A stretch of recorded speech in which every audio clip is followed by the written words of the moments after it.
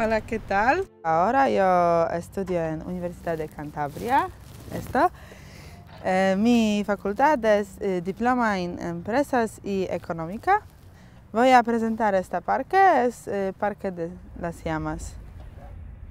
Y muchos estudiantes viven aquí para eh, relaxar, para almorzar, para mm, encontrar con, con amigos.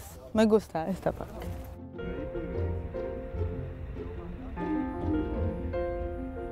I didn't want to go to a big city because normally I live in Warsaw, it's uh, the capital of Poland. So I chosen uh, Spain and a small city and, and also I wanted a city with the sea because I really like the going to the beach and just, I don't know, swim.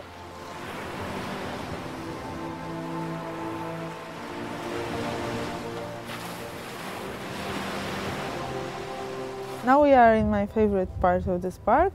This is the part with the uh, kind of lake, the water here, and a lot of grass. It's really near to, from my department, so I can just walk down here and relax a bit, and then I can go again for my classes. Going up is harder, but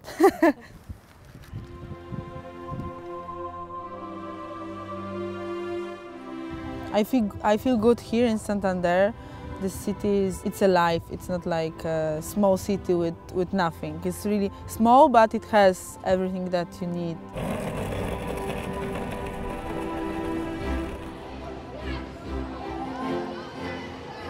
Muchas gracias para acompañarme y hasta luego.